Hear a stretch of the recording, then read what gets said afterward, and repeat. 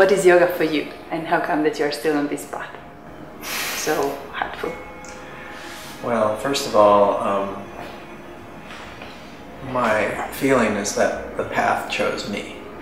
So, because of circumstances, because of certain people I met, it just sort of happened kind of naturally.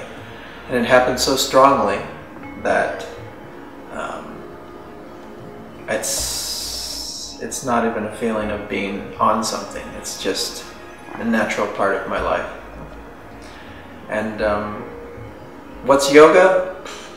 Yoga is, for me, uh, it's hard to describe. It's, it's such a big kind of experience. So maybe I would say like yoga is the essence of life itself. And the essence of life is that place for me, which is the source of everything that's good in life. So everything that has human value comes from this place. So for me, that's what yoga is. Yoga is the source of everything that is has certain kind of goodness, certain kind of purity, certain kind of power in life, internal power. What is, why Ashtanga Yoga? Again, Ashtanga Yoga is um, a path, it's a discipline, it's a practice that basically chose me. So when I met Ashtanga, it basically produced such an impact, such a feeling that it was like um,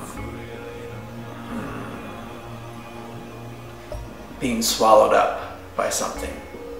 And it had such a profound effect on me, such a such a, an amazing feeling that it basically took over my life. And you know, I went so deeply that again, you know, my relationship with Ashtanga Yoga is not one that's like with an external thing. It's kind of it's more something deeply internal. So again, it's not something that I really have to think about whether I do or not. It's just a part of me. And the third one is why there are so many misconceptions about Ashtanga, so many injuries, and why people don't come to Mysore classes because of dependent of this teacher. Um, you know, anything in life that has great power to it is a source of great misunderstanding, right?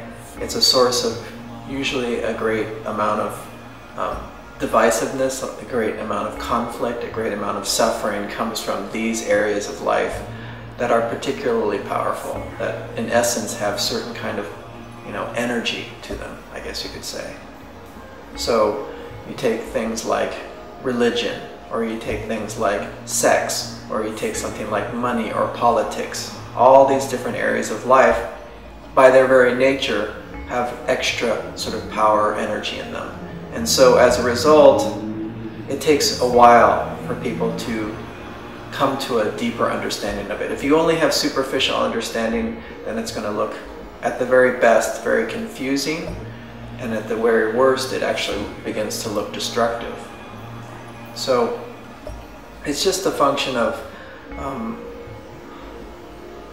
meeting it and depending on the person, the stage at which they're at, if they're ready to really um, seek to understand it, that's the first thing. But when you seek to understand it and you peel back the layers, then this kind of like negative or destructive side begins to um, fade away and what reve gets revealed in the end is its kind of more pure power, its more pure beauty. So, you know, as with anything with great power, it's not for everybody, right? And people, I think, intuitively and instinctively know if it's a practice that's meant for them. Otherwise, it's just stay away. And there's nothing wrong with that. It's a very, very specific, very, very intense practice that is only for a limited number of people. Um,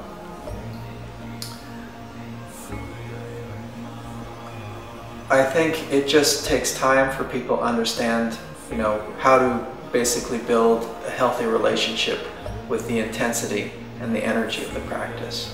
So it's kind of like there's different kind of tests or challenges along the way that basically ask you if you're ready to proceed to the next level.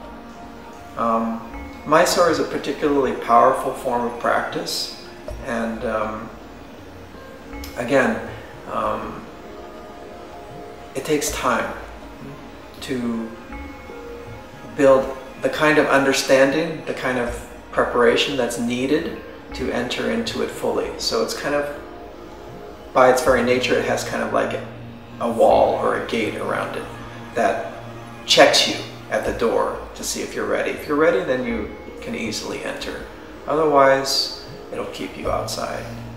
But I think the people who are ready, once you build that understanding about the practice, you have uh, an appreciation for um, the real power and the beauty of the Ashtanga practice, and particularly of Mysore style practice.